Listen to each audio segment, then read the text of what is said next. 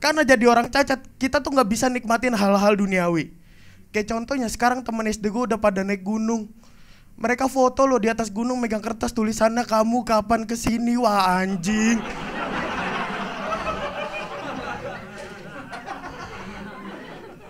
Gue ngeliatnya ngiri gitu gue juga pengen foto duduk di atas kursi roda megang kertas tulisannya kamu kapan begini?